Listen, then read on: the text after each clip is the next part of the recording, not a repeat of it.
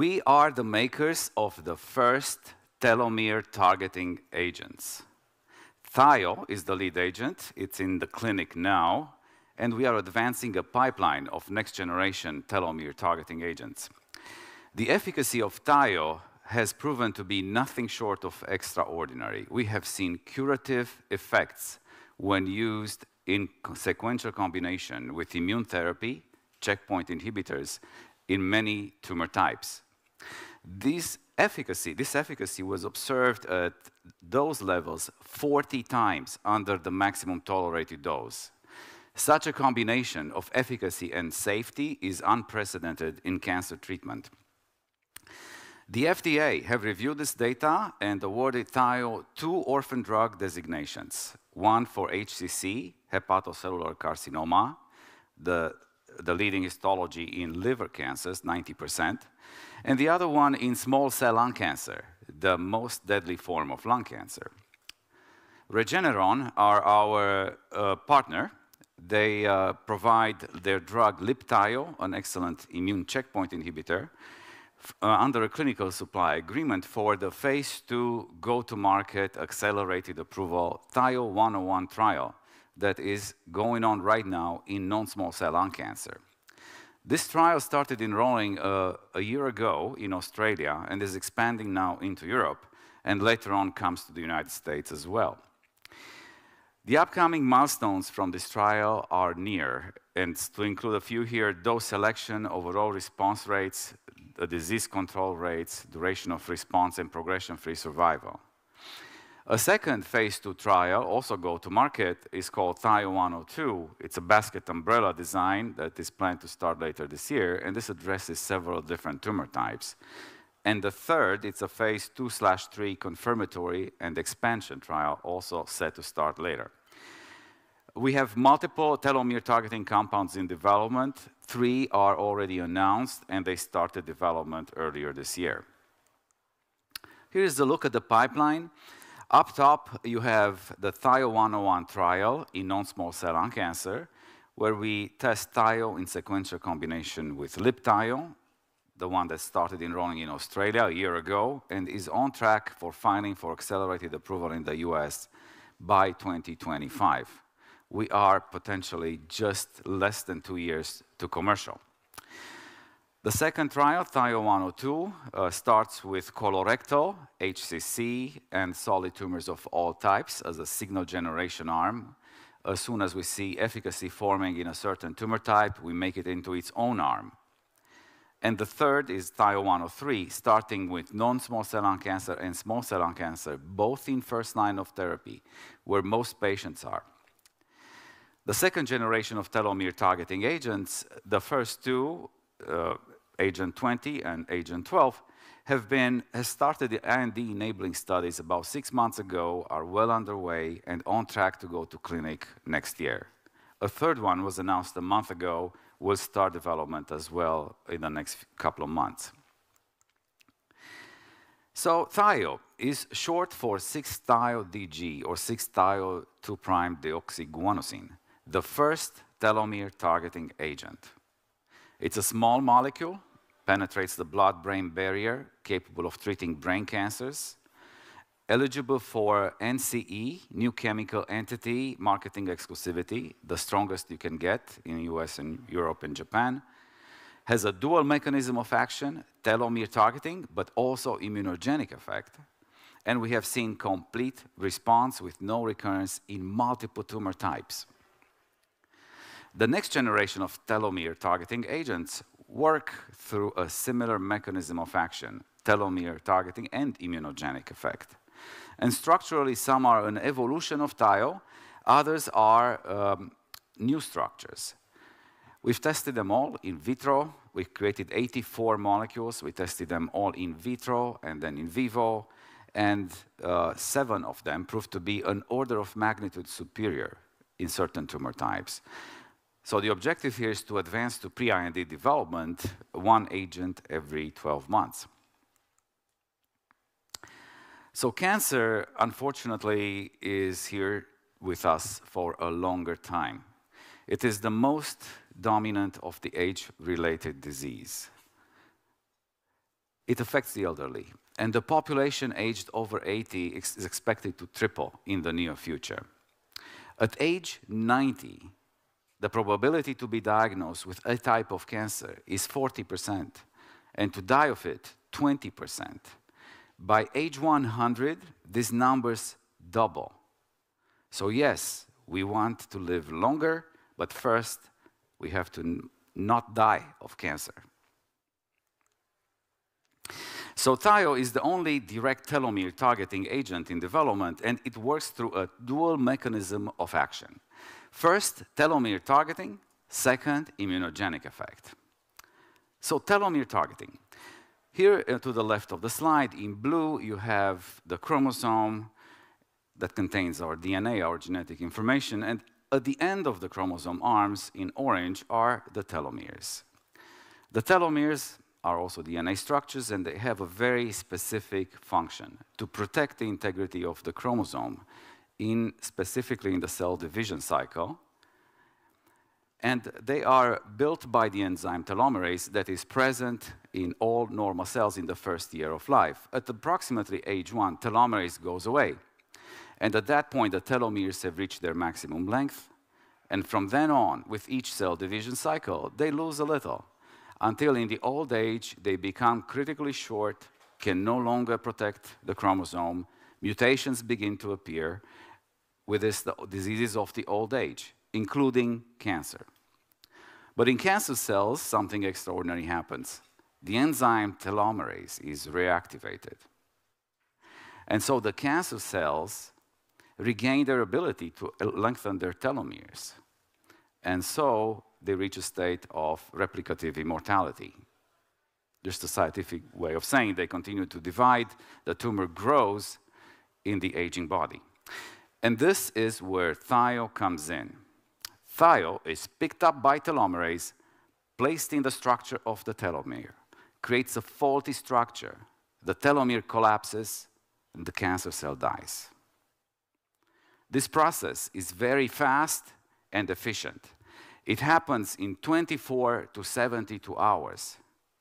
And thio directly kills 70 to 90% of the cancer cells.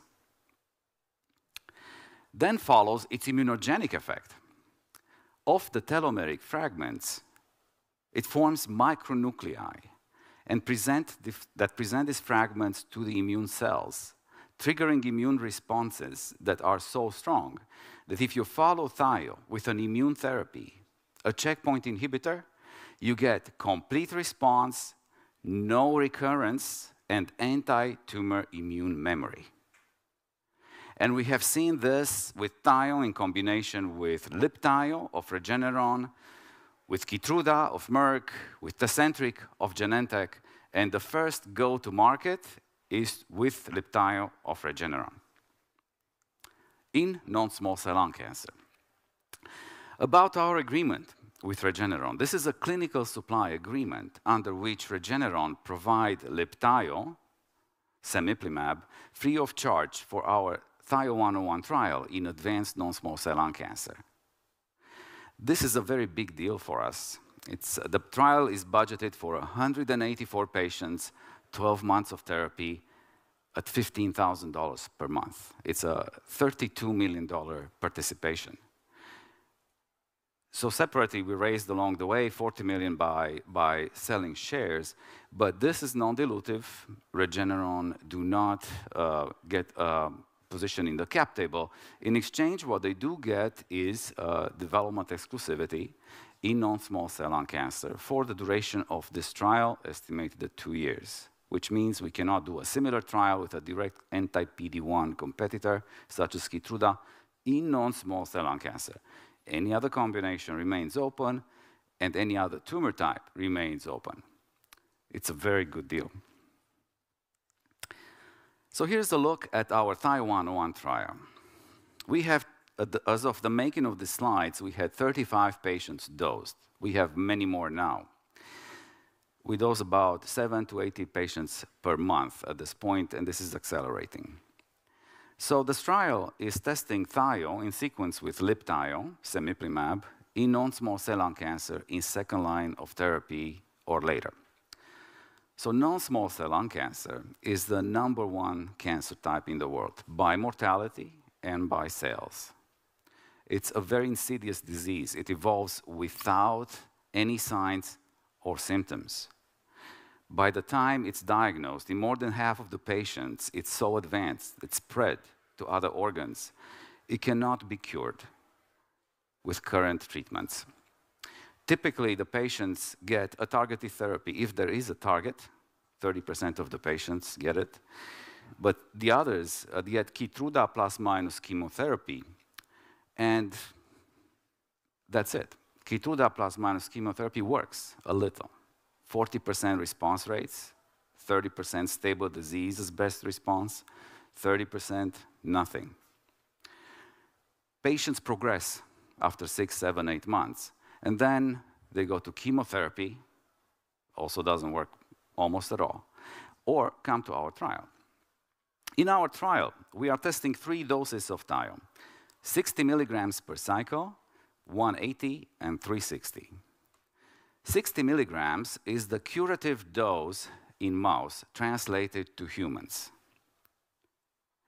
The maximum tolerated dose in humans as monotherapy is 2,500 milligrams per cycle. This is 40 times under, unprecedented in oncology. We are testing higher doses as well, 180, 360, just to make sure we don't leave on the table any possible additional efficacy. But even 360 is still seven times under the maximum tolerated dose. So because of this, we started our Part A safety lead-in with the highest dose, 360.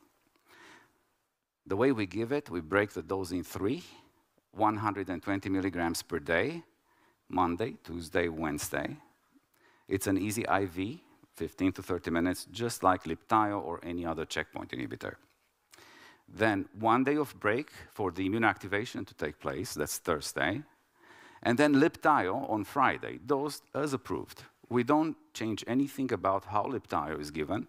We just add Thio prior to Libtayo to make it into a regimen that works a lot better. Cycles are every three weeks.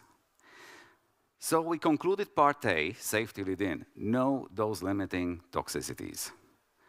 And now we are randomizing in part B, where the goal is to select the best of the three doses on the basis of ORR, overall response rates, or disease control rates, and then expand the best dose arm to a regulatory size arm for approval in the US market and others. So we've seen in part A an ex excellent safety profile. We tested the highest dose, 360.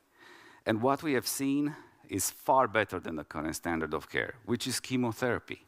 Chemotherapy is terrible, has an incidence of grade 3, 4, 5 side effects, 70 to 80%. This requires, grade 3 requires hospitalization, grade 4 ICU, grade 5 is dead. 5% die because of the treatment. Nothing like this here. This is what we see. Grade 1. Grade 1. The grade 1 is very mild side effects. And what they are? Fatigue, decreased appetite, blood pressure fluctuation. This is basically how I wake up every morning. So there was a report of grade two, a report of grade three. This is uh, that were very quickly resolved. So no dose limiting toxicities. But more importantly, we are now seeing the preliminary efficacy, survival data. The very first two patients enrolled in part A of the study in Australia continue to be alive. Now, more than 12 months these slides were make, made a month ago. More than 12 months from treatment initiation.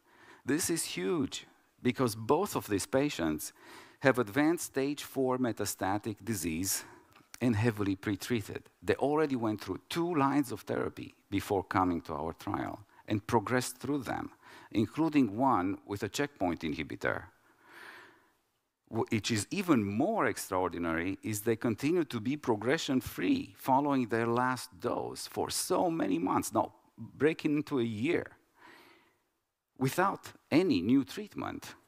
This is Amazing. In real world practice, patients in this situation survive with therapy three to four months, and without therapy, they die in weeks. This is fantastic, much better than the standard of care. The second metric that is, come, that is surfacing as we speak is disease control rate, DCR. At the, at the time of making these slides, we had a data cut of June 23rd. This is almost two months ago now. At that point in time, we had 11 patients with at least one scan for efficacy. Of the 11, nine had disease control. That is 82%. Compared to the standard of care chemo, which is 25 to 35% disease control. This is more than double the efficacy of the standard of care so far. Here's the swimmer's plot that looks at the preliminary survival data. We see at the top the Australian patients we talked about, and just about every other patient is passing through the, the average survival for patients who failed two or three lines of therapy. We will be reporting um, a major efficacy update soon at uh, ESMO. ESMO is the European Society of Medical Oncology, second largest in the world. It's going to take place in Madrid this year, October 20th, 24. So the rationale for this trial came from this test we did in 2019, in which we looked at thio in sequential combination with Libtayo of Regeneron. No, I'm sorry, with Tecentriq of, of uh, Genentech. And we looked at, this was uh, a mouse model in which, um, which was uh, conducted in 2019 and published in Cancer Cell in 2020. Cancer Cell is a re very reputable journal. Only the best quality data gets in. So here, graph to the right, you see tumor volume on the vertical ver and days after tumor inoculation on the horizontal. There were only two cycles of administration, days 5 and 10. No, no other therapy was administered. So here you see in gray is the control arm, grows very fast without therapy. It's an aggressive tumor. In orange, the atezolizumab monotherapy arm, Tecentriq, grows just as fast, confirming it's immunologically cold tumor. In green, thio as monotherapy has an important effect. But in blue, the sequential combination of thio and checkpoint inhibitor with an extraordinary effect. Look at the delta between the blue line and the gray line. Huge. 60% complete response. To put things in perspective, Keytruda, in first line of therapy, the market leader in the clinic, has 2% response. Now, we have seen the similar results with uh, Thio followed by Keytruda and Thio followed by Libtayo. So we then followed the 60% complete responses for 70 days. There was no recurrence. 70 days in mouse is like seven years in humans. At this point, so the, the curative threshold is five. At this point, they are cured. But we go above and beyond cure. And we re-challenge with five times more lung cancer cells and no additional treatment. There is no cancer take. Immune memory is in place because of Thio. And with this extraordinary premise, we're going to non-small cell lung cancer to the second line of therapy, where the current standard of care is chemo. Chemo is very toxic, grade 3, 4, 5 side effects, 79%. Overall response rates are low, 23%. Complete response, zero.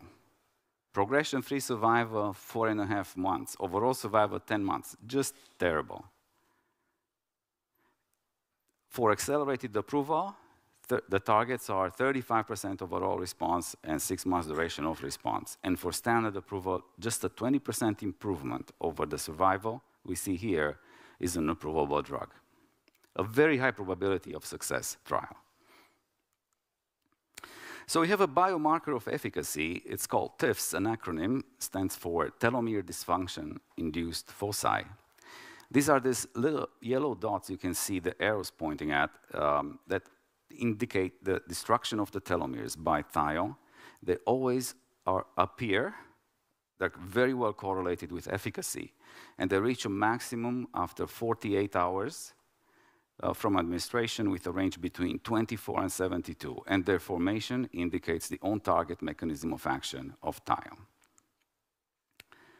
Thio 102 is our second trial. Uh, to start later this year, it, it, has a basket umbrella design, a mountain design. The FDA liked this type of design. Um, we, we, start with three baskets, colorectal, HCC, and solid tumors, all comers, and in each, three umbrellas, Followed by Tecentriq, followed by Libtayo, and by Keytruda. And the objective is to determine the best combination in each of the tumor types, expand to a pivotal size, and go to market. This trial is starting with nine shots on goal, plus non-small cell, 10 shots on goal for accelerated approval. Most companies at our stage barely have one. We already have 10. And in colorectal, we have seen our best results to date. Always complete response, never recurrence. Even when re-challenged with 10 times more colorectal cancer cells with no additional, no additional treatment, there is no cancer take. Immune memory is in place because of thio. And in colorectal, the situation is even worse. In salvage setting, where we are going is also chemo, the standard of care, but response rates are under 2%. Progression-free survival, two months, and overall survival is seven. Another high probability of success trial. We have seen similar results in small cell lung cancer, graph to the left, thio with pembro. In HCC, graph to the right, thio plus atezo. These are the data sets that the FDA reviewed when they granted thio the two orphan drug designations. And earlier this year at AACR, we have seen the best preclinical efficacy to date. Thio, for the first time in an HCC model, primary liver cancer, with 100% complete response as monotherapy. But when combined with Libtayo, we see a very durable response. You see the graph, uh, the upper graph. In green, you have the control arm. In purple is Libtayo, has an efficacy, delays the tumor progression. Thio in red as monotherapy, complete response, but not all of them sustain in, in the very long term. But the combination, Thio plus Libtayo, just flat. 90 days. That's like nine years when we rechallenged with two times more HCC cells and no additional therapy, there was no cancer take. Even 210 days out, that's 21 years. This is definitive. Thio 103 will also start later this year. This is in first line of therapy, starting as a phase two to become a phase three we begin with two trials, with two arms, non-small cell in first line with Libtayo, and also small cell as an expansion in combination with EP and Tecentriq, uh, atezolizumab of Roche and Genentech as the standard of care. And then we expand to pivotal phase three for full approval.